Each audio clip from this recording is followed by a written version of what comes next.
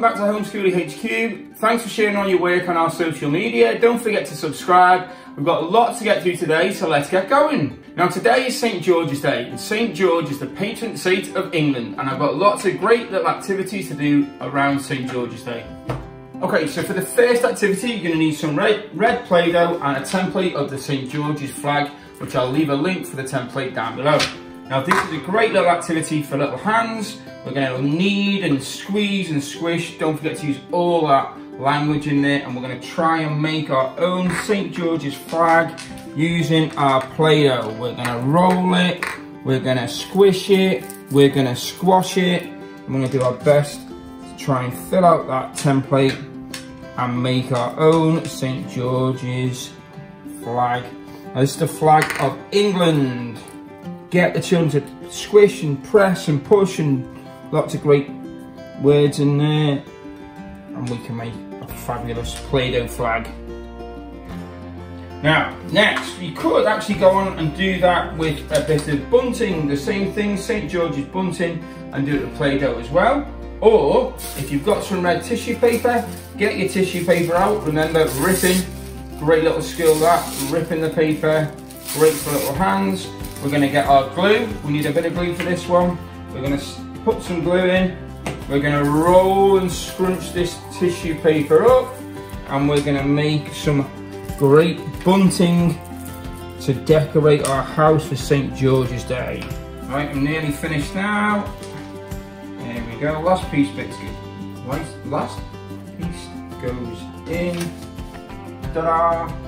I could, if I wanted to, we've got a bit of time, we've got some white tissue paper as well, do exactly the same and fill out the other bits in the white. We fold it over, put a string, put it up, we've got a nice bit of bunting, and you can do several of them and make a fantastic button to go on your wall.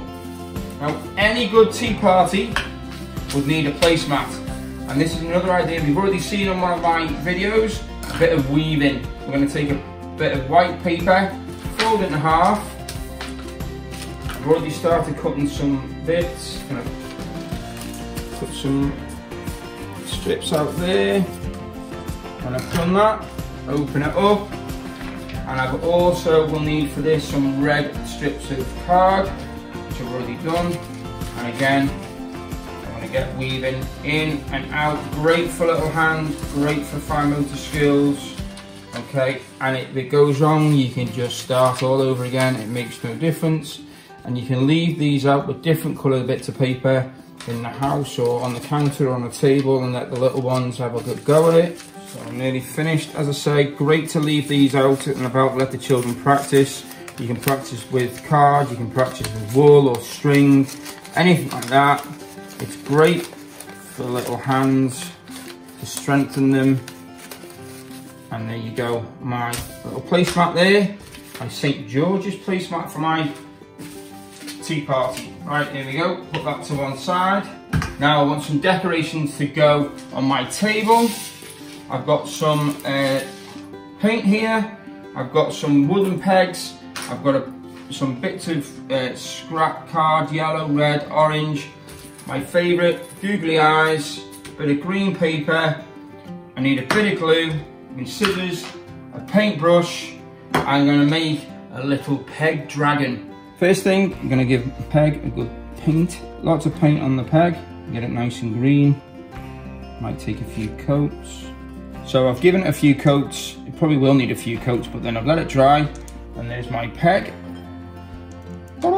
Right, now I need some green card to make some wings. So I'm just gonna brief, uh, carefully draw it out sort of wing shape, right? Drawing that out like so, kept it as one big piece, cut it out and open the dragon's mouth and then it goes his wings.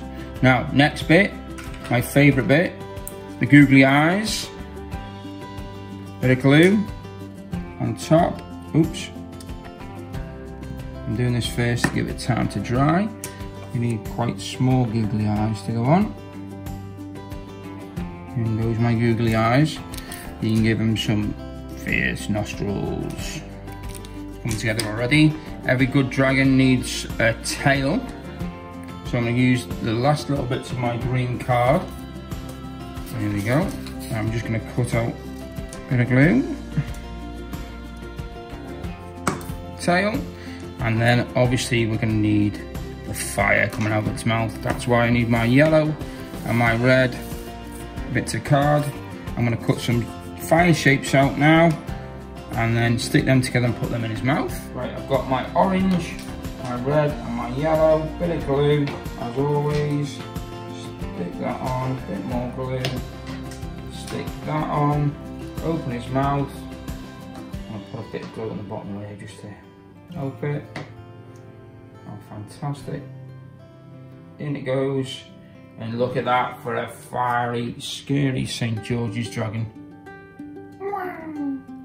Now there's lots of little writing activities you can do around St George's Day. You can obviously just create a fact file about when St George's Day is, who St George was, who the dragon was, who this lady was here, okay?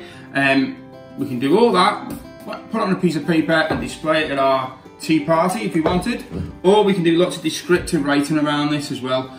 Hence why I've got Bella here. And we're going to describe some of the, characters that we see. Now St George here, Bells, was was fending off this dragon because he was protecting this maiden. Okay, what sort of words could we could we use to describe? Let's look at the maiden that he was, he was fighting for. How could we describe her? She's scared She's definitely she, she's definitely not scared to me.